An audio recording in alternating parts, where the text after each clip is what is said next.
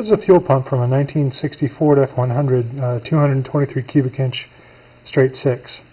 And uh, I'm going to show you how this fuel pump works. The fuel comes in right here from the uh, from the fuel line from the gas tank, uh, and it, and the fuel exits being uh, under pressure from this pump uh, through this line that goes up to the carburetor. Now if you pull these two, I've, I've already pulled the, the screws out, pull these two halves of the fuel pump apart, you see that the basin here contains two valves. This is the inlet valve and it allows fuel to come into the basin. And this is the uh, outlet valve. It allows fuel to go out toward the carburetor. Why would fuel come in to the basin? Because it's being pulled by the action of this diaphragm. This diaphragm pushes up and down.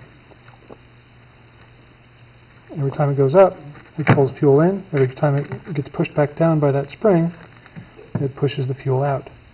Why is the diaphragm going up and down? Well, because this part of the fuel pump is plugged into the engine block, and the engine is pushing on this lever right here,